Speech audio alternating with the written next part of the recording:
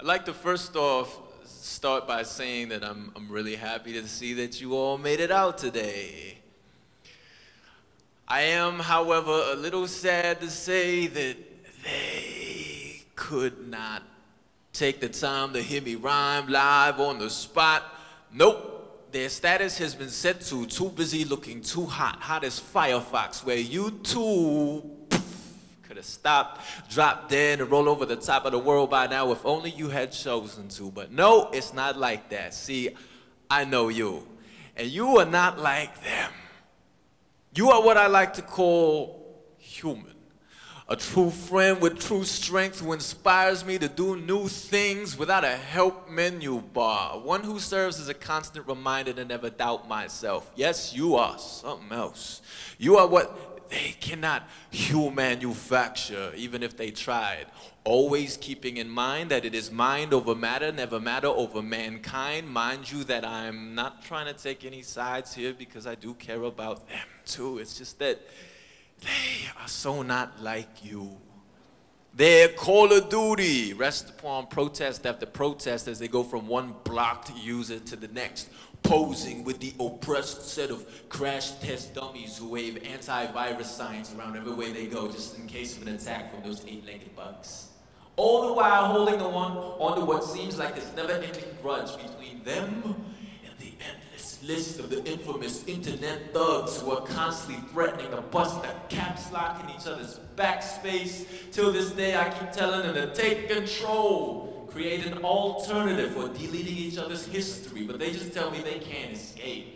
Can't go to the library when the superhuman race is on. They're too busy inserting their keywords, firing up their search engines, hard driving at 120 words per minute, space spacebar hopping from address to address while keeping a tab on secret access to sites like www.don'ttellmymom.com suffering from the sweaty palm syndrome, sitting at home closed in by firewalls and boarded up windows, with a wishbone in between their legs as they get a head start on sexual education from Miss JPEG.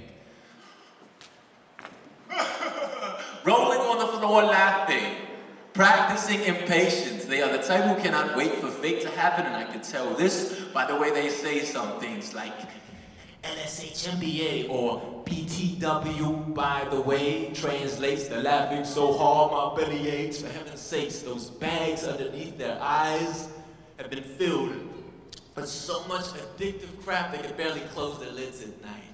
And despite the poison inside the Apple Mac, they are still taking more and more gigabytes. Trust me, I've tried telling them about the simple life, about how much less is really so much more.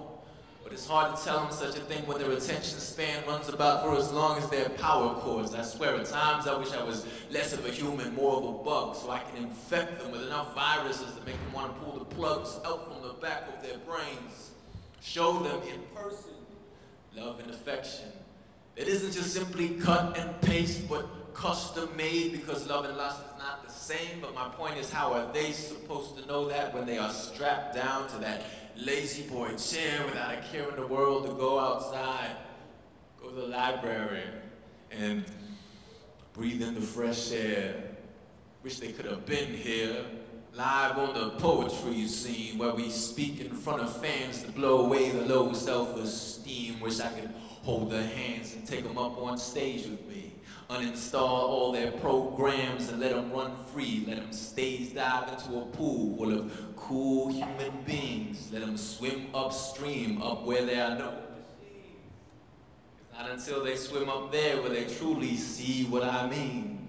Your computer is on fire and it's burning to the extreme. So I want to take you all out for a swim so you could see what I mean. Technology is taking over these days, and there's nothing wrong with it. It's the way of the future, it's the way of the communication, you know. It's, it's what we're using to communicate with people overseas. It's, you know, things are moving a lot faster. It's a fast-paced world, and it seems like we've evolved for a very long time, from ancient scriptures to the printing press and to now a world where everything is being digitized. Everything is digital. Not everything. We still got, we've still got books. We've still got carriers of civilization. Um, but for me, I find like it's a good balance to have to have both.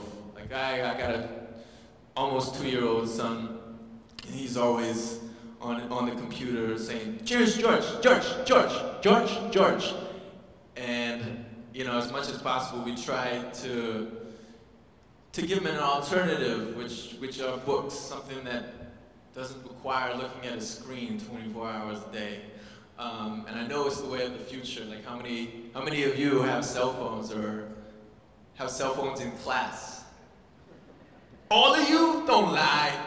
I know you're in there. I was just at Vincent Massey for the last two weeks doing a spoken word workshop, and half of the class were writing their poems on their phones. And I thought, man, you know, we didn't have this back in the day, and I'm still fairly young, but to me it's crazy to think that that this is the future, you know, as opposed to taking time, reading out a book, or taking, pulling out a paper and taking time to write everything out. So, but that's just the way that it's moving. Um, you all know that quote, and it's kind of cliche, but go back, you know, understand your history to know where you're going, know the future. Um, so yeah, it's all about balance. How many of you here um, take the time to go out downtown or anywhere in the public library and make use of the library. Great, I'm happy to see that. Um, for me, I feel like it's a great place, it's a safe place to go to and not only receive knowledge, but create a place to, to develop more knowledge and share knowledge with other people. Um, whether you use it as a place to study or use use the computers or the internet or, or, or dig for for whatever. Or maybe if it's just a novel that, that you really like to, to find and just to cool out and relax. But the library is a very special place um, for everyone and we should be fortunate enough to have this access to, to information and, and knowledge. Um, I have a, a, piece that I'd like to do uh, that deals with books uh, how many of you are fans of Dr. Seuss by chance? The greatest rapper of all time. all right. This is inspired by my son and my mother, who taught me to read at a very young age, who I'm very fortunate to have. It started with the letter I, as I began my journey into the center of the earth, 20,000 leagues under the sea sounding out the key to the magic school bus that would drive me from point A to point Z, exercising my voice with a choir full of curious George type of kids who would acquire the gift of being able to sing, Now I know my alphabets. Stories stored in the treasure chests of my mind where the jewels became the tools that allowed me to enter this wonderful world of rhymes in between punchlines where I read that fiction could fly. And I could rock 500 thinking caps like Bartholomew if I really wanted to picture what my life of pie could look like if I ran the zoo with the Yertle, the turtle, the cat in the hat, and Horton who heard a who. Oh, the places you'll go when you become your own Dr. Seuss. I told myself, you'll be on your way up.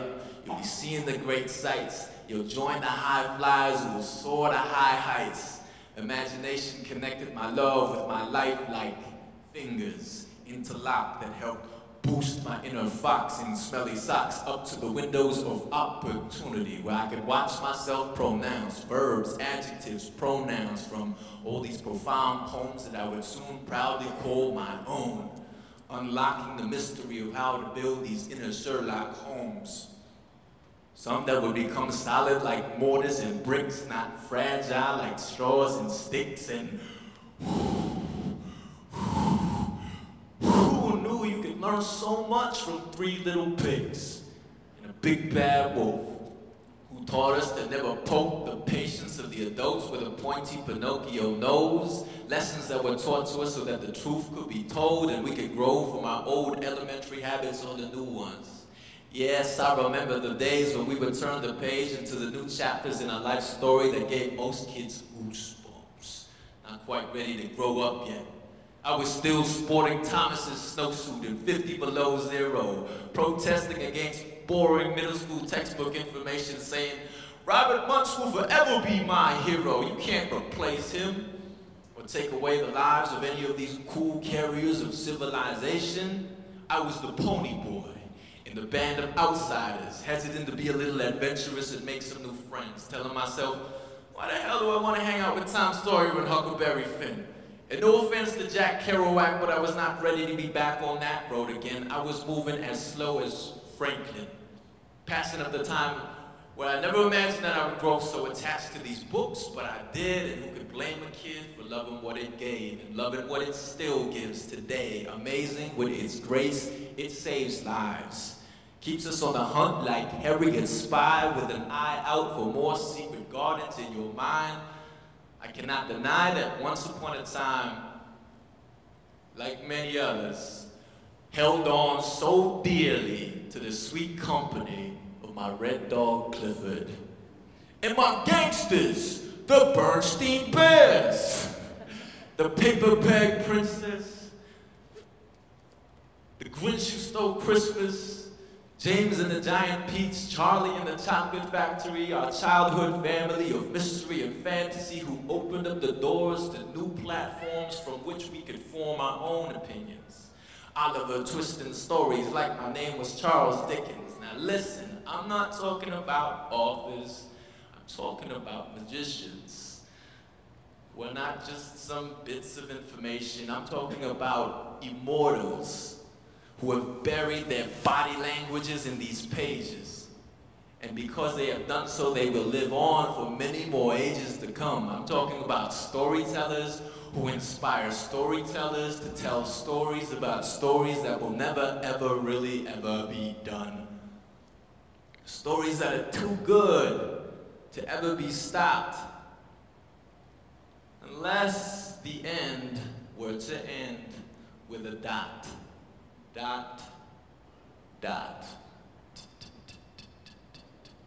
You are the future of our library.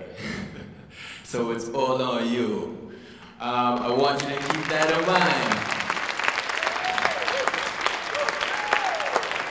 Be excited, be, be excited, be fortunate, realize that we're in a very fortunate place to have our voices be heard, where our opinions actually do matter and that we have the power to shape the world we live in. So, my name is Nereo. I'm, a, I'm an artist, and um, I'm happy to be here and share my words with you.